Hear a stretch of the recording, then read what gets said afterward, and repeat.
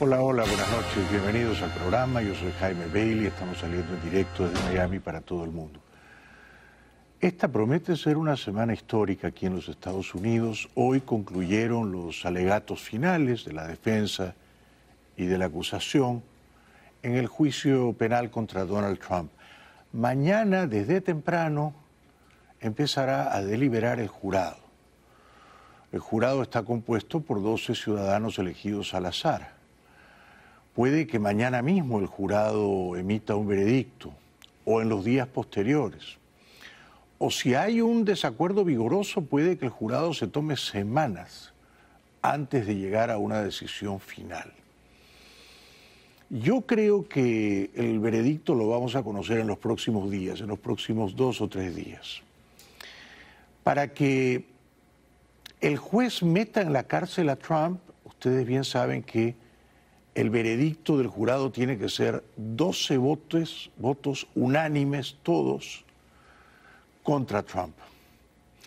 Y aun si el veredicto es unánime de condena a Trump, el juez podría no despacharlo a la cárcel.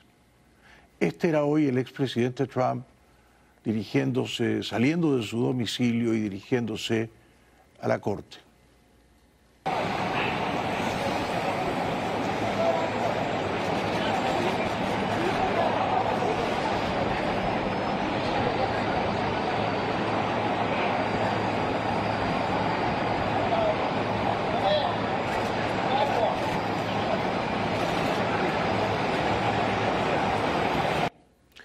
Han sido cinco semanas consecutivas, más de 20 testigos.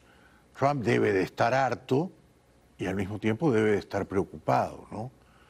Porque mañana, pasado mañana o al día siguiente o la próxima semana, el jurado podría decir, Trump es culpable. Al llegar hoy a los tribunales, antes de entrar, Trump acusó al presidente Biden de estar destruyendo este país. Thank you very much, everybody. Make no mistake about it. I'm here because of crooked Joe Biden.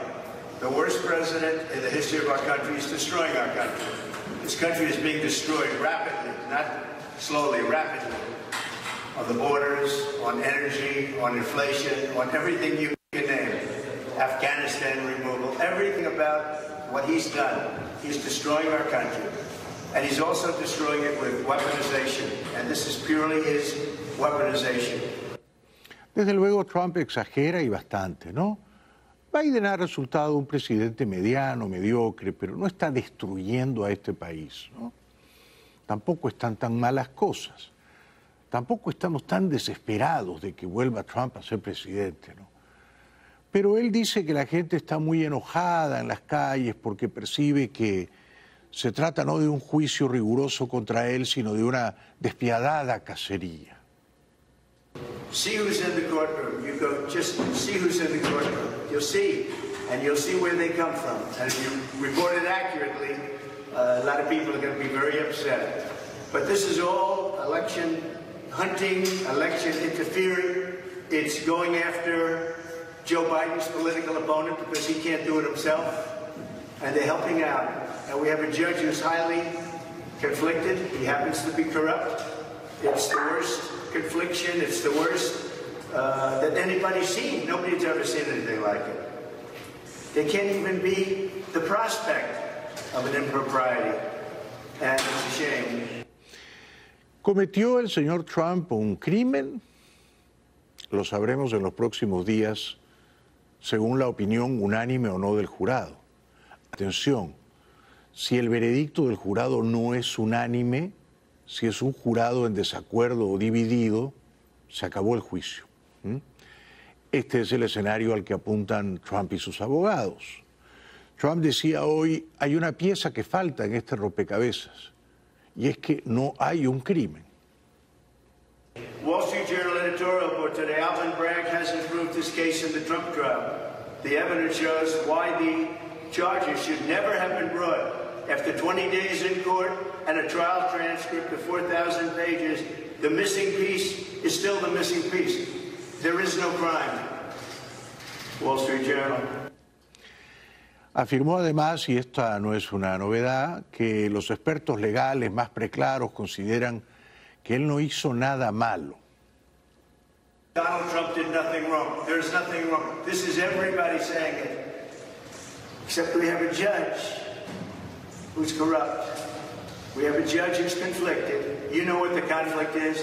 So do I, but I can't say it because I'm under a gag order, which is another unconstitutional thing. You ever hear of a president, leading candidate, leading Biden, leading everybody, and a gag order? I'm not allowed to speak. It's a first.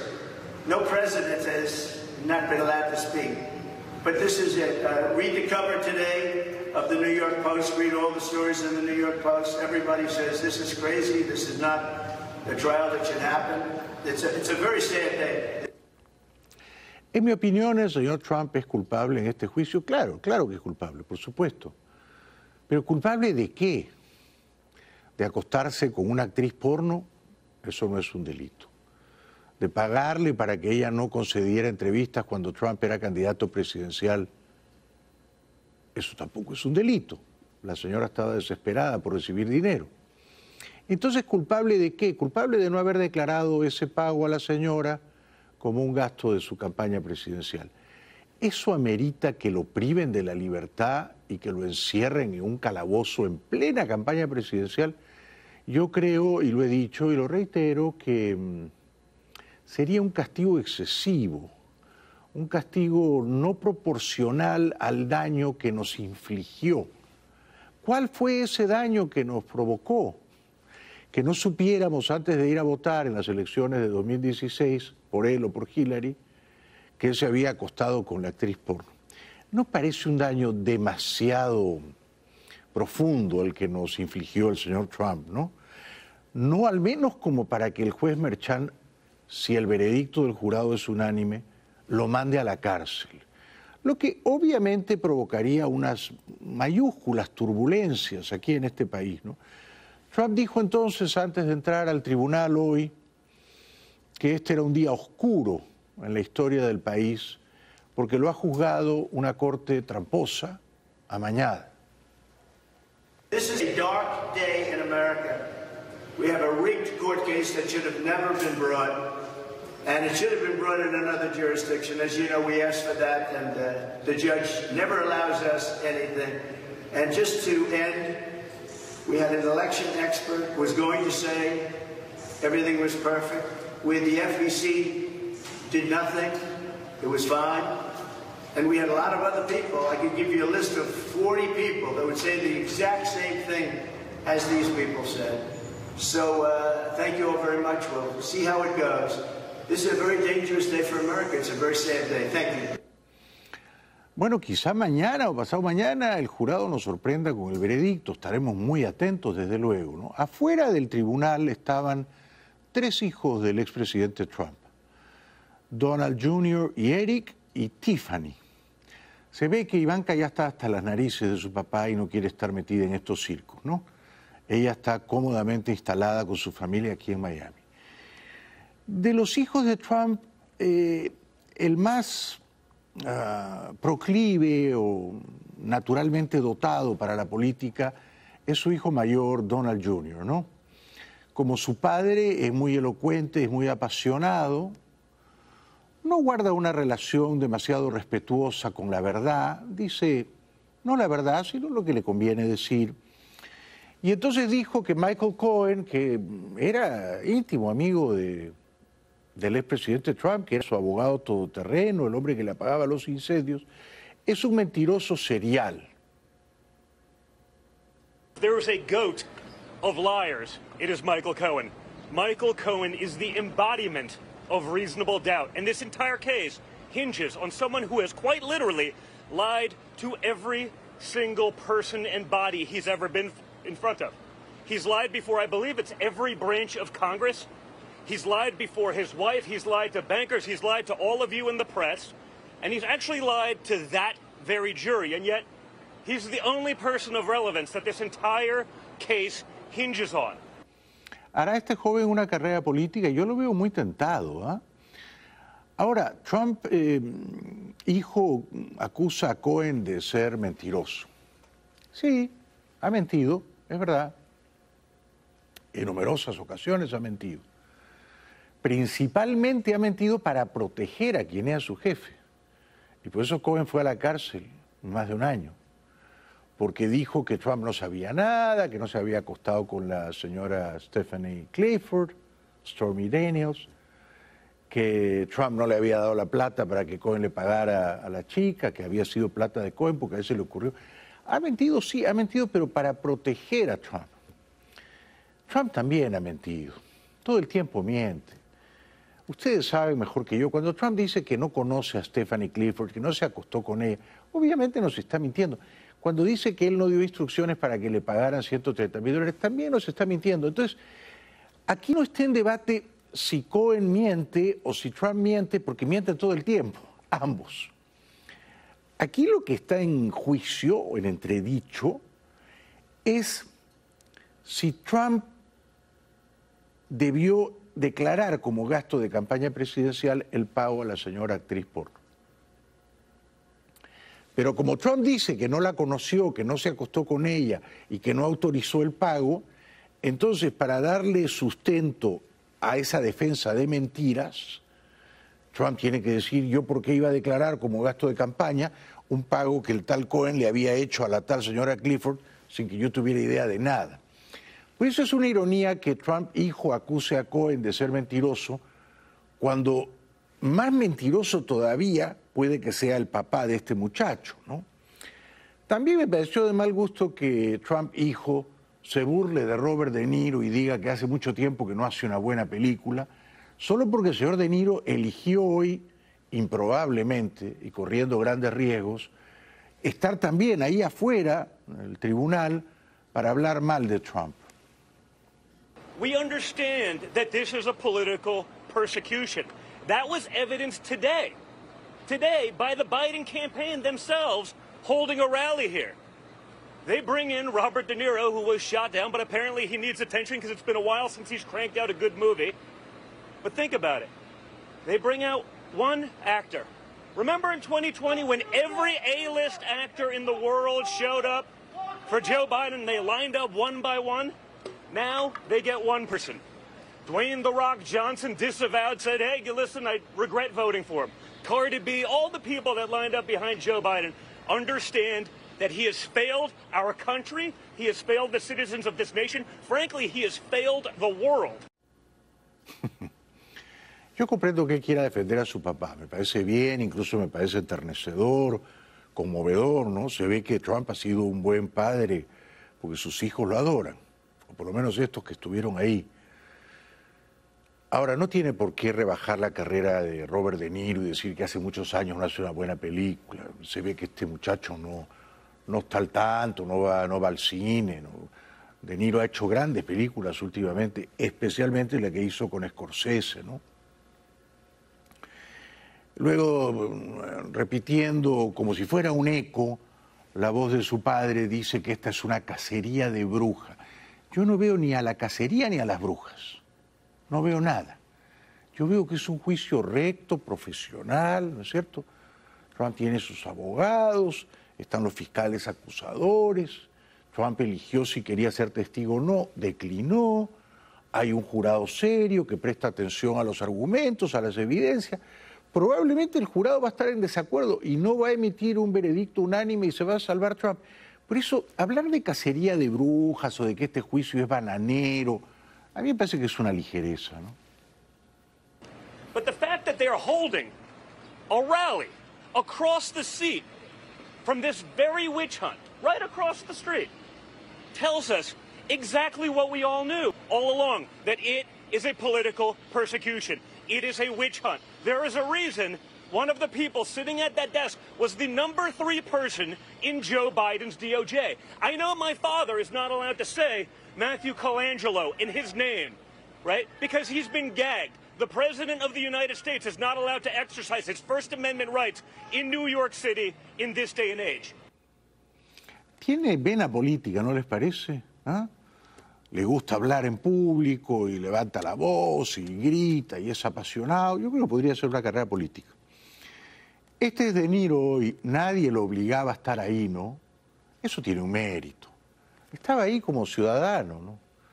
y como residente de Nueva York, es su ciudad, es su barrio, downtown, ¿no? Y entonces él decía, esto es una locura, esto me ofende a mí como neoyorquino.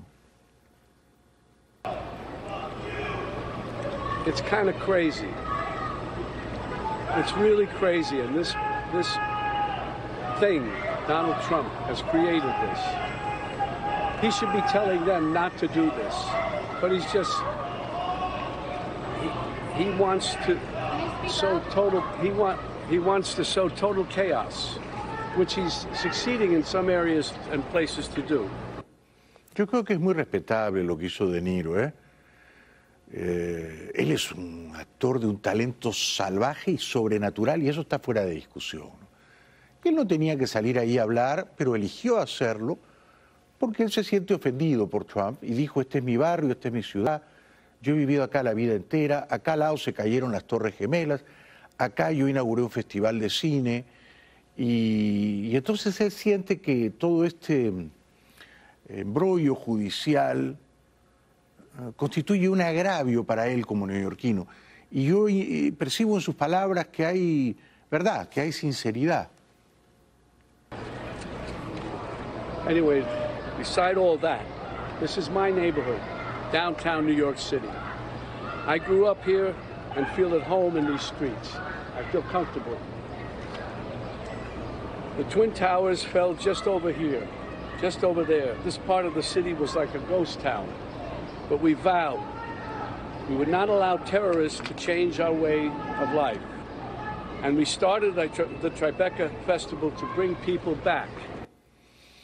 Luego dice algo que sí es un poquito más debatible, ¿no? Él dice, yo amo esta ciudad y me siento amenazado porque Trump no es parte de esta ciudad, no pertenece a esta ciudad y quiere destruirla. Yo creo que eso es exagerado, ¿no?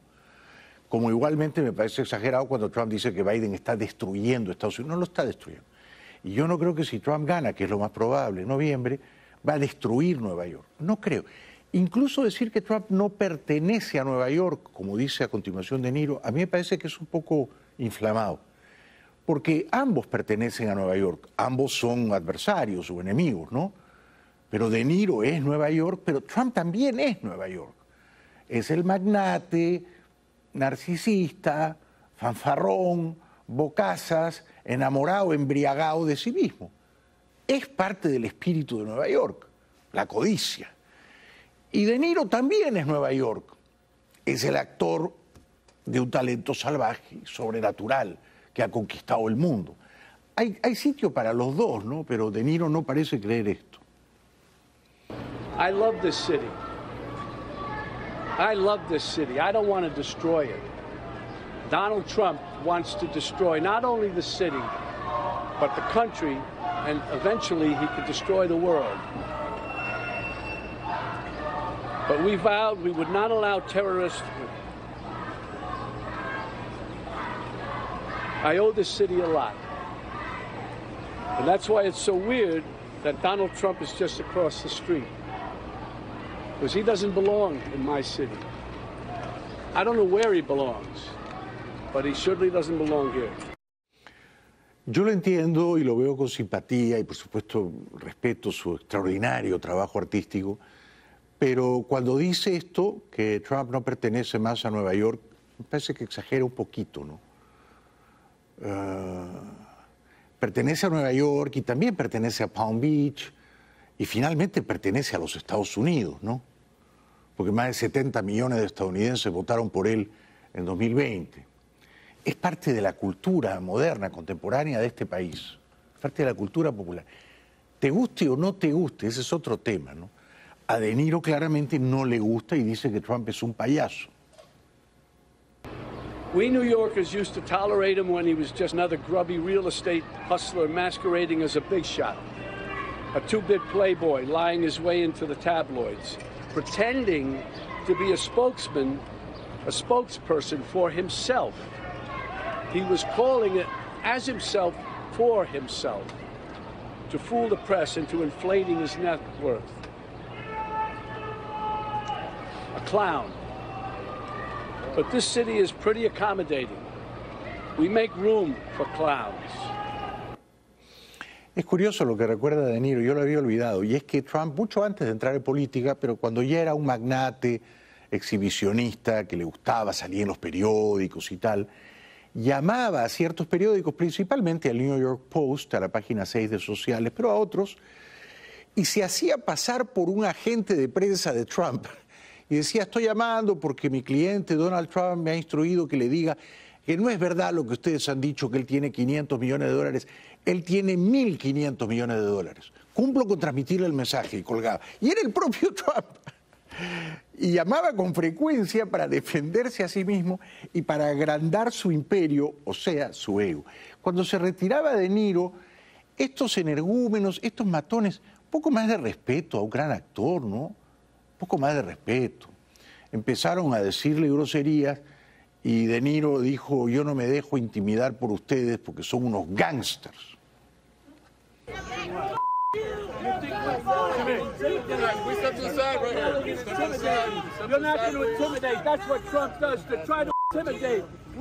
Fight back. We're trying to do what we're, we're, in a we're trying to be gentlemen in this world, the Democrats. You are gangsters. You are gangsters. Fuck you. You're a little punk. You're a softy. You're a nobody. You're really soft. You're trash.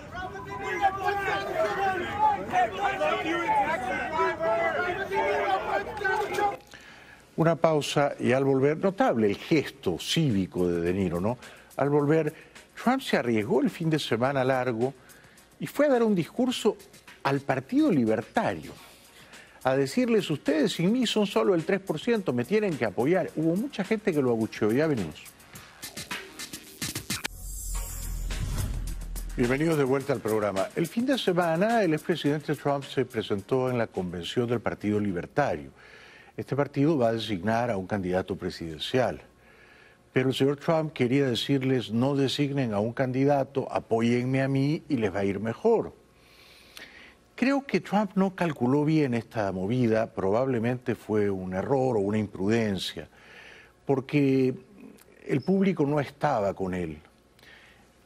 Una fracción del público, un segmento minoritario sí, pero la mayoría de los libertarios consideran que Trump es ajeno a su partido y lo ven como un líder autoritario. Entonces a menudo lo abucheaban, lo reprobaban eh, mientras él estaba hablando. Eh, Trump les dijo que si Biden ganaba en noviembre, entonces las libertades estarían en peligro, estarían en riesgo, y que por eso los libertarios tenían que apoyarlo a él. Pero la reacción del público no era positiva. And by the way, why isn't Joe Biden here speaking to you tonight? You know why? Why isn't he? Because he can't put two sentences together. That's why he's not here. The fact is, we should not be fighting each other. If Joe Biden gets back in, there will be no more liberty for anyone in our country. Combined with us in a partnership, we're asking that of the libertarians. We must work together. Combine with us. You have to combine with us. We cannot give crooked Joe Biden four more years. Todo es exagerado, por no decir todo es falso. O sea, no es verdad que si Biden gana la reelección, y yo creo que no la va a ganar, porque es un pésimo candidato y es un hombre muy mayor, pero no es verdad que las libertades estarían amenazadas. Tampoco es verdad que Trump sea un liberal ni un libertario. En estos tiempos todo el mundo dice yo soy un liberal, yo soy un libertario, ¿no? Luego le preguntas, pero ¿estás a favor de que las mujeres embarazadas puedan interrumpir su gestación en el primer tramo de esta? Y te dicen, no, es un crimen, es un delito, están matando a una persona. Tú dices, pero entonces no eres un verdadero libertario, ¿no? Obviamente Trump no lo es, y obviamente carga las tintas y desfigura la verdad, ¿no? Cuando afirma que Biden es un fascista, no es un fascista. Es un presidente viajito, distraído, que no, no puede hablar bien, que se cae de la bicicleta. Todo eso es verdad. No debería ir a la reelección con 82 años casi. Todo eso es verdad. Pero decir que es un fascista, que está rodeado de fascistas, es un disparate completo, ¿no? Los verdaderos fascistas de este mundo son los que no denuncian a Trump. Los más peligrosos fascistas de este mundo son el chino, el ruso y el norcoreano. Y a estos no los toca Trump ni con el pétalo de una rosa. Today's radical left Democrat Party is not a Democrat Party of years ago, which still wanted big government, but at least believed in tolerance and free speech. Joe Biden's radical left Democrat Party is a fascist movement that wants to throw you in jail if you post a meme they don't like. They want to throw you in jail if you do something that isn't quite to their liking. What you're witnessing under Biden is a toxic fusion of the Marxist left, the deep state, the military industrial complex, the government security and surveillance services, and their partners all merging together into a hideous perversion of the American system. And that's exactly what it is. Todo lo que ha dicho es mentira. Este no es un gobierno fascista, esta no es una sociedad fascista, este no es ni será un país fascista. Es mentira.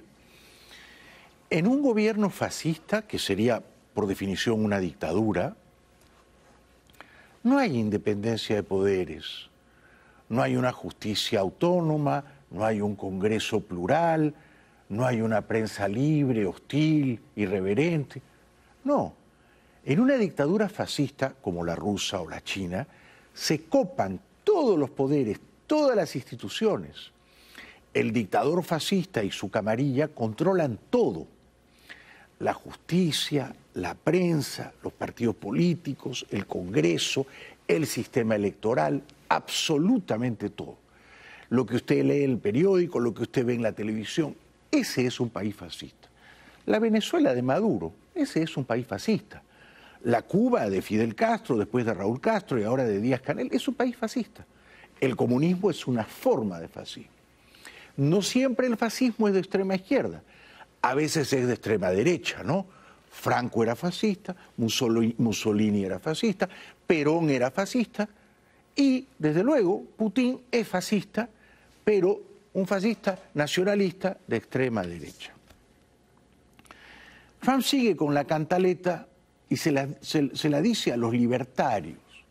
Los libertarios nunca van a ganar una elección presidencial en este país, pero yo creo que son gente educada, gente leída. Entonces, no hay gente que cae tan fácilmente en el embuste eh, de Trump, ¿no es cierto? Y les dice que la democracia está amenazada por Biden. No es verdad. The fact is that Joe Biden is a threat to democracy. My mission is to liberate our nation from these fascist frauds and to rescue our democracy, to restore our republic, and to evict crooked Joe Biden from the White House so that America can be a free nation once again. He's the worst in history. Tampoco es verdad y me veo en el improbable papel de defender al anciano señor Biden. A ver, yo llevo más de 30 años viviendo en este país y a mucha honra, y soy ciudadano de este país, y a mucha honra. Y aquí me pienso quedar hasta el final de mis días. Dicho esto, todas las décadas que llevo viviendo en este país y haciendo periodismo libre aquí, nunca he visto un acto tan fascista, nunca, ¿eh? nunca he visto una turbulencia, un brote, una agresión tan fascista como la del 6 de enero de 2021 en Washington, D.C., cuando los matones, los vándalos y los gamberros al servicio de Trump asaltaron el Congreso. Ese fue un acto fascista.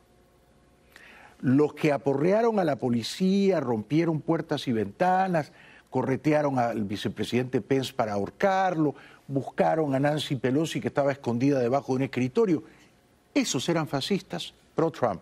¿Los condenó Trump? No los condenó. Ahora los condena, no, no los condena. ¿Qué dice Trump de esos fascistas? Que si él vuelve a la Casa Blanca, los va a indultar, los va a perdonar, los va a dejar en libertad el primer día de su presidencia. Por tanto, cuando Trump habla de fascismo, en mi opinión, carece de autoridad moral. Y entonces dice que el régimen de Biden parece que estuviera describiendo a Putin, a quien él no critica Es un régimen fascista que nos censura a todos los ciudadanos, que nos espía nuestras conversaciones telefónicas, nuestros correos. ¿Usted siente eso? Yo cuando hablo con mi mujer, eh, no siento que Biden esté atrás escuchándome. ¿ah? ¿Usted siente que el régimen fascista de Biden le espía las conversaciones, ¿ah? los correos electrónicos? ¿Usted siente que el régimen fascista de Biden, como dice Trump, persigue a los cristianos? Es decir, Trump cree que somos una manada de bobos, como para creer tamañas zarandajas, ¿no? Y los libertarios resulta que no son bobos y por eso lo abucheaban. The Biden regime censors its critics, spies on its opposition, takes away the bank accounts of U.S. citizens as an extra form of punishment, persecutes Christians and patriotic parents, and is currently trying to put the leading candidate for president in jail. That happens to be me. While imposing a strict gag order in order to keep me from talking about their crimes and their unconstitutional acts. They want to get rid of the First Amendment, the Second Amendment, due process, the right to a fair trial, and the right to counsel, all the while pushing wealth confiscation and waging endless and unnecessary wars all over the globe. Anyone can talk about defending freedom, but I've actually put everything on the line to resist these despots and these. Él habla de déspotas y de matones. Ojalá le dijera déspota a Putin. Ojalá, y no se lo dice. Ojalá le dijera matón al chino, y no se lo va a decir. Y al norcoreano parece que lo extrañara. Siempre dice, eh, el norcoreano, yo me llevaba tan bien con él, éramos grandes amigos, teníamos buena química, y está en el momento de excelencia de su juego. Para terminar con este discurso, yo creo que insólito de Trump en el Partido Libertario, tratando de conseguir unos pocos votos más, ¿para qué fue ahí? Que deje a los libertarios tranquilos con su 3%. Eh, Trump dice que Biden encarna la maldad humana. ¿Ustedes de verdad creen eso? Biden no es la maldad humana, Biden es un abuelito que está absolutamente hundido por la vejez. Este es Biden. Cuando dicen Biden amenaza a la democracia, no, ¿saben a quién amenaza Biden? A sí mismo, a sí mismo, a su salud, a su cuerpo, a su expectativa de vida. Porque si se va a imponer cuatro años más en la Casa Blanca, yo creo que no va a llegar. Esa es la verdadera amenaza de Biden, a sí mismo. And I stand before you tonight as your best hope of defeating the weaponized Biden and the very evil regime that his people, because it's probably not him because he doesn't know where the hell he is, but that his people are pursuing. You can make the difference. The Libertarian Party can make a big difference.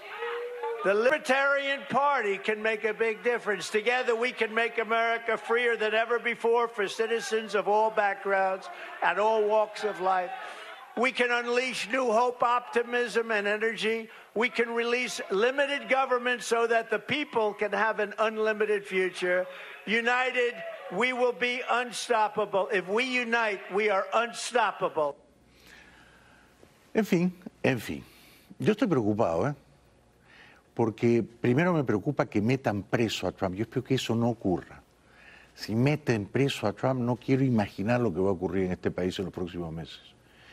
Y luego estoy preocupado porque si al final ocurre un milagro y Biden gana la elección, ¿ustedes creen que Trump va a decir, muchachos, mil disculpas, hice mi mejor esfuerzo, perdí, me retiro de la política? No, ¿verdad? Ya regresamos. todo apunta a que habrá un fraude descomunal, grosero, el 28 de julio, ¿no? Y que el dictador Maduro engañará una vez más a su pueblo diciendo que ha ganado limpiamente las elecciones. Sin embargo, no se deja descorazonar uh, una heroína de la libertad que es uh, María Corina Machado, que hoy estuvo en Barquisimeto.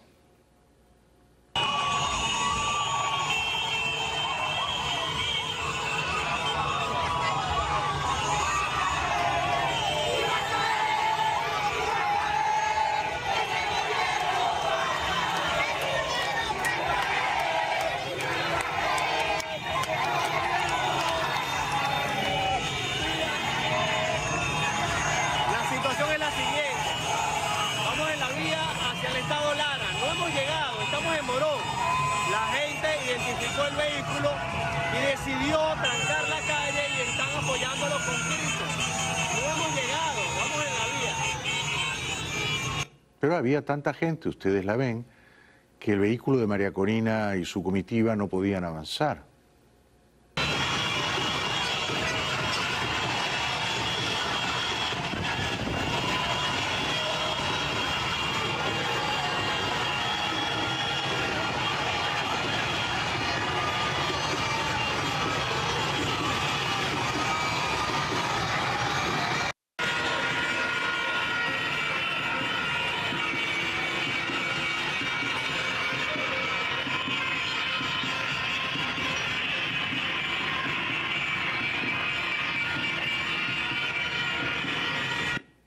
Es que está clarísimo y lo refrendan las encuestas, que la inmensa mayoría de los venezolanos están con María Karina y con Edmundo. Por eso digo que el fraude de Maduro va a ser eh, mayúsculo, ¿no? En otro lugar de Venezuela, Diosdado Cabello, eh, matón deslenguado, daba gritos.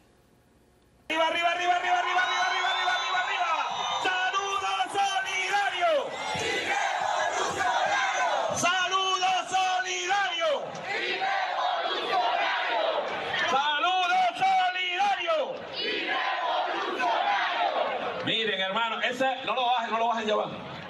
Porque esa es, esa es para esta batalla del 28 de julio nuestra arma principal.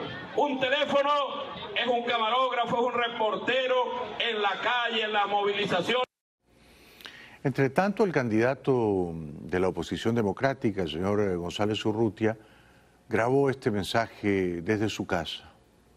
Lo cierto es que mi desempeño profesional ha sido fundamentalmente en el ámbito de la política exterior y las relaciones internacionales de Venezuela. Agradezco a María Corina Machado, ganadora de las primarias y líder de la oposición, al gobernador Manuel Rosales y a la profesora Corina Lloris por su desprendimiento y su respaldo que hicieron posible la candidatura por unanimidad. ¿Es un buen candidato? Yo digo que sí, no es particularmente carismático, ¿no? Um, en unas primarias abiertas dudo que él hubiera ganado. Pero dadas las circunstancias es un caballero, es un Quijote, es un hombre de palabra y de honor. Por tanto, sí diría que es un buen candidato y él dice que sueña con la recuperación de Venezuela. Estamos ante el reto de apostar por la recuperación de Venezuela. Nadie puede ser indiferente a la situación de millones de compatriotas nuestros, una pobreza que se expande mientras la inflación persiste y la moneda pierde valor real. Servicios de salud y educación en regresión que acentúan la desigualdad, servicios de agua y electricidad decadentes que dañan la vida diaria e impiden el crecimiento económico. Entre tanto, al canciller colombiano Murillo le preguntaron si Colombia tiene un acuerdo, uh, un borrador de acuerdo uh, de paz, de diálogo entre la dictadura venezolana y la oposición democrática venezolana. El señor canciller colombiano no supo qué responder. Ah, no tenemos borrador. ¿Qué borrador? No, no sé de qué. Bueno, la tarea de paz. Eh, pues nosotros, nosotros eh, ustedes saben que el presidente Petro y el presidente Lula, inclusive en la última a, a reunión que tuvieron, están muy dispuestos a, a, colaborar, contribuir en el caso de Venezuela en avanzar hacia la reconciliación política y contribuir en lo que esté al alcance de ellos. Están eh, realmente conversando, pero no ha pasado a más, ¿no? Estamos a tratando de ver cómo contribuimos en la yo siempre digo la manera en que se nos solicite, así que ahí vamos avanzando en el proceso. No, no van avanzando a ninguna parte, señor canciller, y no están contribuyendo de ningún modo efectivo. El avance o la contribución consistiría en que usted tuviera el valor moral de decir, Venezuela es una dictadura, estamos muy atentos porque ah, tenemos ah, suficiente información como para eh, sospechar que las elecciones no serán limpias. Por tanto, exigimos que sean limpias. Por tanto, exigimos que nos permitan a nosotros ser observadores de esas elecciones en dos meses. No dice nada de esto. Tampoco lo dice el presidente mexicano López Obrador, que ya está por irse, que es cómplice de Maduro, que en su fuero íntimo seguramente desea que Maduro haga fraude y se reelija tramposamente. Le preguntan a López Obrador y ni siquiera tiene la dignidad de decir lo que de veras piensa, ¿no? Se hace el despistado, dice, ah, no, no sabía, hay elecciones en Venezuela, no, cuénteme cuándo son, tomándonos por tontos, ¿no? Pues no estoy muy informado. Sé que van a haber elecciones, pero no sé exactamente cuándo. ¿Cuándo son las elecciones? El, 28 de julio. Julio. Sí. Sí. Este, pues ojalá y se pongan de acuerdo y sea el pueblo de Venezuela el que elija a su autoridad. Eso es lo que yo deseo. Nada más, no tengo mayor información. ¿No hay preocupación por el panorama que, le comento? De las inhabilitaciones, desapariciones, eh, detenciones. Es que no me quiero meter en eso porque es inclinarme a favor de un grupo y en contra de otro. Entonces, no, no no, no acostumbro, es como si me meto a ver qué está pasando en Estados Unidos. Mentira, pero sí se mete. Cuando quiere meterse, se mete. Ahora no quiere meterse en Venezuela porque no quiere decir está mal que hayan prohibido la candidatura de María Corina Machado, por ejemplo. Podría decir eso. No lo dice porque quiere quedar bien con Maduro. Pero cuando él quiere meterse, se mete. Él se mete a opinar de los asuntos bolivianos, está a favor de Evo Morales, se mete a opinar de los asuntos peruanos de una manera grosera y critica a la presidenta peruana, le dice que es una golpista, que no es legítima, que hay que sacarla, sale en defensa de Pedro Castillo que está en la cárcel, dice que no debería estar en la cárcel, se mete en los asuntos políticos ecuatorianos y pide que a Ecuador lo echen de Naciones Unidas. ¿ah? Y eh, quiso darle asilo político a un delincuente común ecuatoriano, al ex vicepresidente Glass. O sea que se mete cuando quiere meterse, cuando le conviene meterse en Ecuador, en Perú, en Bolivia, en El Salvador para criticar a Bukele, se mete. Ahora, en Venezuela no se mete. ¿Por qué no se mete? Porque no quiere decir una palabra que pueda incordiar o mortificar a su amigote Maduro. Esa es la verdad. Desde Madrid, al menos, la señora Díaz Ayuso, la presidenta de la Comunidad de Madrid, dice que el dictador venezolano insulta porque está nervioso y sabe que va a perder el 28 de julio. Ojalá pierda, ojalá. Nicolás Maduro a insultarme ante su nerviosismo porque ve que va a perder las elecciones. Nico, que te veo muy nervioso. Te veo te veo que cuando sacamos el francomodín empezamos a sospechar que las cosas van mal, porque tú podrás inhabilitar a María Corina Machado, podrás intentar hacer lo que Sánchez hace aquí con la oposición, que es inhabilitarla, perseguirla y utilizar las instituciones y el Poder Judicial. Pero ¿cómo vas a cerrar estos micrófonos del Partido Popular? Muy bien dicho, señora. Ya regresamos.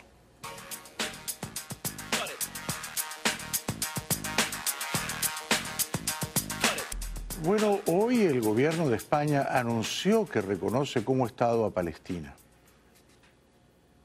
Por tanto, comparezco ante todas y todos ustedes para trasladarles que en la reunión del Consejo de Ministros y Ministras de hoy, el Gobierno de España aprobará el reconocimiento oficial del Estado de Palestina. España se sumará así a los más de 140 países que ya reconocen en el mundo a Palestina como Estado. Se trata de una decisión histórica que tiene un único objetivo y es el de contribuir a que israelíes y palestinos alcancen la paz. Es, dice, un acto de justicia histórica. Yo lo veo como una provocación a Israel. El reconocimiento del Estado de Palestina no solo es una cuestión de justicia histórica, con las aspiraciones legítimas del pueblo de Palestina. Es además una necesidad perentoria si queremos entre todos lograr la paz.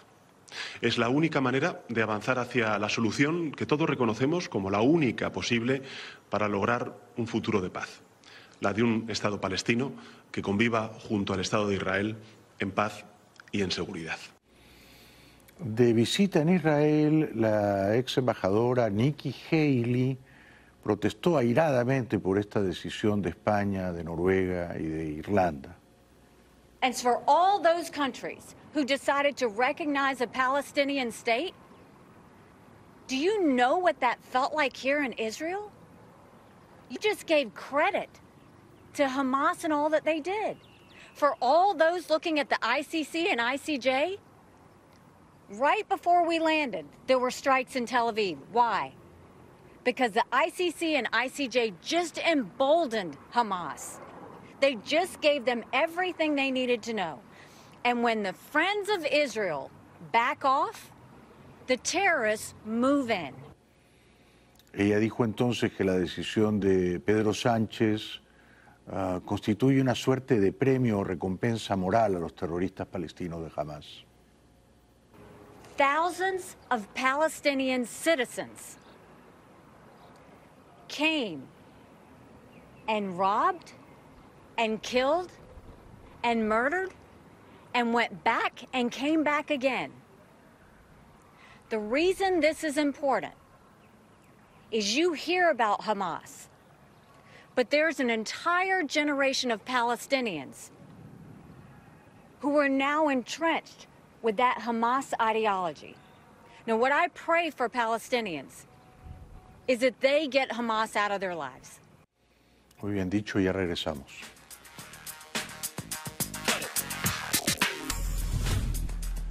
Muy bien, eso fue todo por hoy. Muchas gracias por acompañarnos. Con suerte seguiremos aquí mañana dando la pelea, librando la batalla al pie del cañón, sin rendirnos, sin desmayar. Gracias, gracias. Buenas noches. Hasta mañana.